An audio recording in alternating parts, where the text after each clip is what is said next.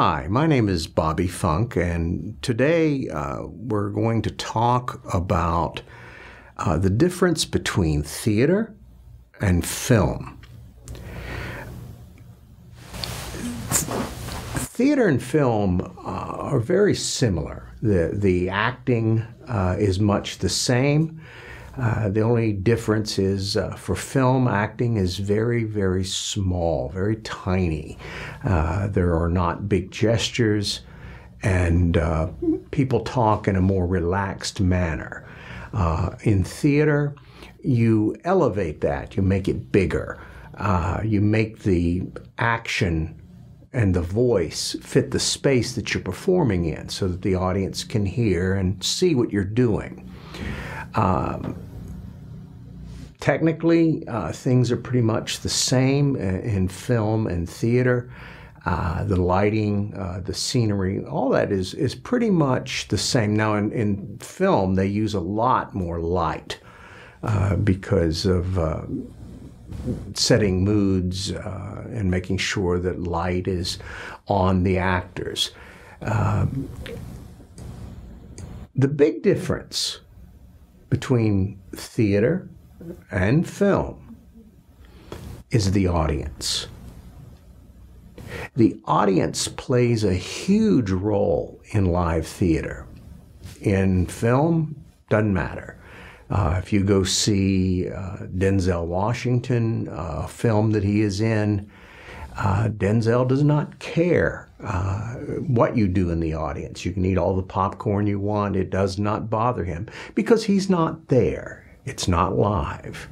Now, go see Denzel Washington live on Broadway, and you had better behave yourself. And what I mean by that is in live theater, there is a sharing between audience and the actors. The great acting teacher Stanislavski called this communion. Uh, when he said communion, he was talking about the sharing between two actors and the audience. So when you see really good actors and they're performing, the actors, if they talk to one another and they listen, take in what is said, and respond, it becomes believable. The audience is pulled into that scene. They, they forget if only for a moment, that they're in the theater. They feel that they are part of the action, part of what's going on in the play. And that sharing, that, that communion, is very, very important for this group experience.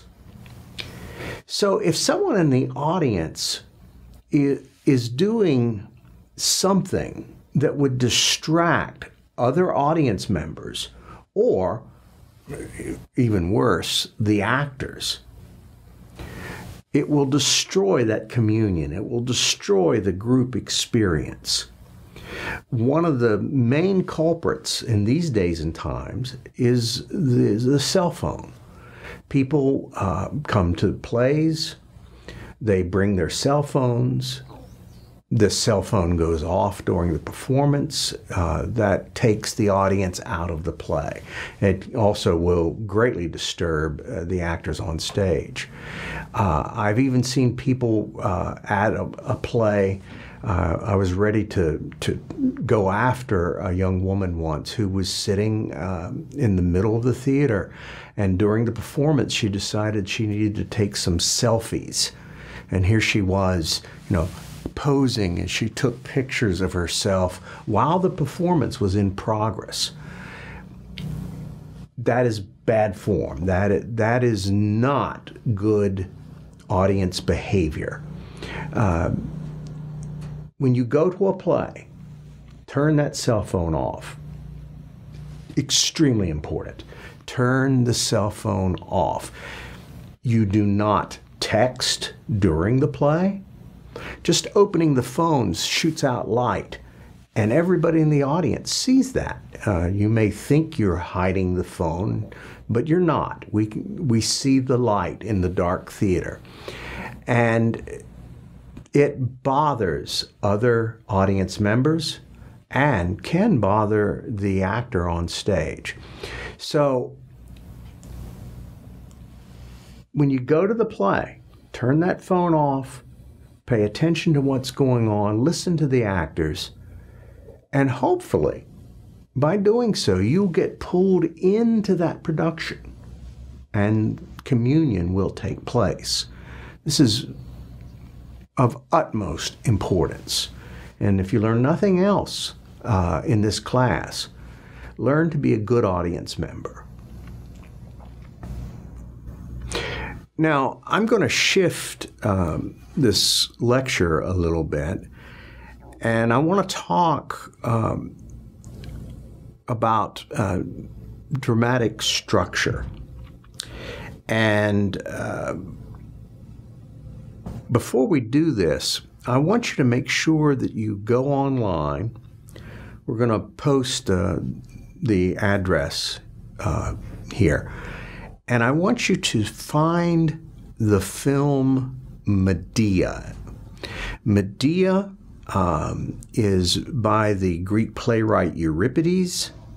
He lived between 480 BC and 406 BC.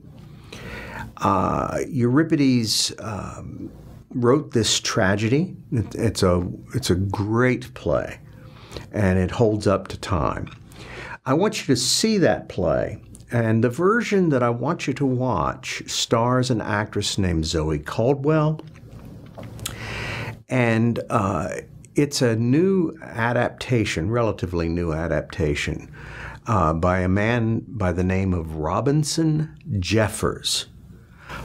Watch that film because the next few lectures uh, that we do are going to tie into that play. So, see the play Medea. It's online, and as I said, we're going to post the address here. To talk about Medea, I'm bringing in a special guest artist and I hope that you enjoy this.